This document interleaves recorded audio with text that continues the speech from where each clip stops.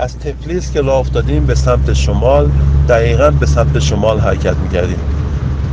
این بار دست جمعی بودیم و همه با هم و طبق معمول در داخل ماشین هم شور و هیجان دست جمعی بودن به چشم می اومد حدود تقریبا 50 کیلومتر بالاتر که رفتیم منطقه کوهستانی شروع شد و چه کوهستانی؟ به مراتب کوهستانی بزرگتر از کوهستانهای دیگه ترکستان در همین مسیر به یک دریاچه رسیدیم که البته این دریاچه ماحصل ایجاد ساختساز یک صد بزرگ بود و در کنار این دریاچه زیبا که واقعا هم زیبا بود یک کلیسا و قلعه قدیمی هم وجود داشت که خب البته ضمنی که برای بازدید قلعه دوستان می‌رفتن و بعضی ها برای خرید در اطراف اون گشت گذار می‌کردن می‌شد انواع وسایل مختلف رو دید از جمله کلاه و لباس های پشمینه که بسیار به چشم میومد این بود که من یه لباس پشمینه به تن کردم و یک دفعه یاد یک داستان معروف گرجی افتادم.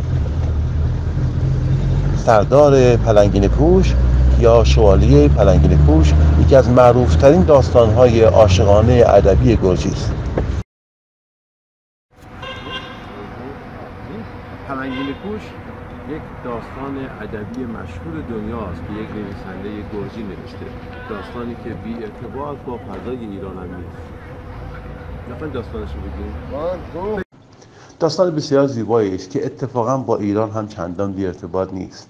خیلی هم قدیمی نیستش. برمیگرده به دوران ادبیات اوج شکوه ادبیات گرجستان داستان از این قراره که خیلی سالها پیش در کشور اعراب پادشاهی زندگی می‌کرد که با دختر خودش به خوبی و خوشی زندگی می‌کرد و حکومت می‌کرد و یه روزی تصمیم گرفت تا تاج پادشاهی رو بر سر دخترش بذاره و از امور مملکت خداحافظی کنه.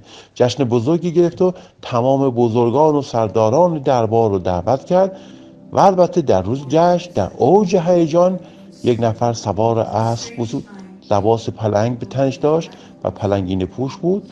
وارد شهر شد. هیچ کس اون نمیشناخت. ولی نوع رفتارش نوع کردارش نوع گفتارش کاملا برای همه جلب توجه می‌کرد. دیدین خانما شروع می‌کنن به پیش پیش کردن؟ وای این کیه؟ چقدر خوش تیپه چقدر خوش اندامه. با چه رفتاری چقدر جنتلمنه چقدر اخلاق خوبی داره. نگاه کن چی راه میره. کمرش رو صاف گرفته چقدر با بقار چقدر خوب. خلاصه هر کسی یه چیزی می‌گفت. خبر به شاهزاده رسید که یک نفر که لباس پلنگ در تن داره وارد شهر شده و خیلی رفتارش و کردارش به چشم مرد اومده. گفت بریم بگیم بیاد اینجا ببینم از کجا اومده. اومدن دنبالش گفتن از شهر خارج شده. بلا فاصله سردار بزرگی خوش و صدا زد گفت سردار من می‌خوام همین الان تو به دنبال این کسی که میگن لباس پلنگ داشته و بیاریش اینجا من ببینمش باش حرفا دارم. مگه میشه پاشو بده تو کشور من نیاد بگی که سلامی علیکی حالی. برو بپرسین کیو پیداش کن بیار. راستش این سردار هم یک تایدل عاشق این شاهزاده عرب بود و می‌دونین که یک نفر که عاشقه وقتی معشوقش ازش خواهش می‌کنه فکر کنم بال و پر در میاره که سریعتر این خواسته رو اجابت کنه. و دقیق نیست که ظرف چند دقیقه حاضر شد و سوار اسب شد و دنبال این فرد از شهر خارج شد. پرسان پرسان با گفتمان هی می‌پرسید که آیا کسی سوار با لباس پلنگ دیده پلنگی پوش دیده؟ و خب چون کمتر کسی همچین لباسی داشت هر کسی اون دیده بود گفت آره مثلا دیروز دیدم از اینجا رد شد پیروز از اینجا رد شد یا شنیدم که از اینجا رد شد. برای همین پیدا کردنش خیلی سخت نبود. ظرف سه روز اونو پیدا کرد. البته در کشوری که اون زمان هم اسمش ایران بود. وقتی باش آشنا شد کم کم دوست شد و در خلال این دوستی گفتش که تو کی هستی؟ می‌خواست اطلاعات هم جمع کنه قبل از اینکه بگی که باید بیایم جای پادشاه عرب گفت من یک پسر پادشاه گرجستان هستم و البته عاشق دختر پادشاه هندوستان. گفت چقدر جالب گرجستان کجا هندوستان کجا؟ گفت عشق که باشه آدم دیگه مسافت ها رو متوجه نمیشه. اصلا نه زمان می‌فهمه نه مکان می‌فهمه و برای همین چه اشکال داره؟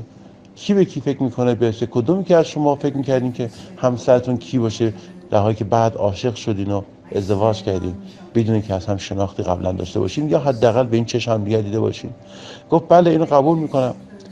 گفت خب دیگه بگو. گفت مشکل من اینه که من برای نامزدم رفته بودم خواستگاری. خیلی دوستش داشتم می‌خواستم ازدواج بکنم که یک گروه وحشی حمله کردن و اونو اسیر کردن. گفت از کجا بودن؟ گفتش که این گروه یک در سواران دزدی بودن که از سمت روسیه اومده بودن و حمله کردن و اونو گرفتن بردن. و من در دنبال اون هستم که اونو آزاد بکنم. گفت خیلی خوب پس می‌خوای یک کار کنم؟ من بهت کمک کنم تا بتونی اون نجات بدی؟ گفتش که آره چرا که نه. گفت پس به یک کار کنیم. حالا که ما تو ایران هستیم شنیدیم که ایرانیان پادشاهان و بزرگان بسیار مهربان و دوست داشتنی دارن و از جمله می‌دونم قصت رو بگی به کمک می‌کنن. این بود که رفتم پیش پادشاه بخت ایران و قصه رو گفتن و او گفت چه کمکی بهتر از این که به یک جوان عاشق پیشه و از کشور دوست کمک بخوام بکنم. حتما این گونه خواهم کرد. و یه داد سربازم بهشون داد و اینها رفتن به سمت قلعه هایی که اون دختر اسیر کرده بودن. گفت حالا ول کن دیگه اون که دیگه اسیر شده ولش کن یا سخت نگیر. بیا در کشور عراق پادشاه ما می‌خواد شما رو ببینه و غیره اینا. شاید شاید در کشور ما هم کسی پیدا بشه که شایسته تو باشه. گفتش که نه ما حقیقتش با هم خیلی فرق می‌کنیم. نگاه کنیم شما عرب در طول زندگیتون شاید آقایون حرف اول و آخر رو برای خانم هاشون بزنن؟ در کشوری مثل ایران شاید خانم ها حرف اول آخر زندگیشون بزنن و ارتباط اینها ارتباط آمرانه است. در ایران خانم ها امر کنن آقایون اجرا بکنن. در عرب آقایون امر کنن خانم ها اجرا بکنن. در فرهنگ ژاپن و قسمت های از چین یک روابط محترمانه است یعنی یک احترام به هم گذاشتن و از فرط این احترام در واقع زندگی رو گذر کردن. ولی در کشور هندوستان و فرهنگ گرجی که ما هستیم ارتباطات عاشقانه است. نه به اساس منطقه نه به اساس احترام محض نه به اساس امر کردن و مطیع بودنه روابط ما بر اساس یک احساسی است که ما رو به هم نزدیک می‌کنه. این روابط نگاه نمی‌کنه که هم رو می‌بینیم یا نه آیا کنار هم هستیم یا نه. و برای همین در تمام مدت که اون تو اسارت باشه انگار که من تو اسارتم. گفت حالا که اینجوری که شما دل تو دل هم دارین و قلبتون برای هم میتپه باشه منم کمکت می‌کنم. بریم پیش پسر پادشاه ایران که معروف به کمک کردن به افراد و دوستان و از اون کمک بگیریم. پیش اون رفتن و با کمک جوان و سردار ایرانی به دزدان تاختن و دختر آزاد کردن.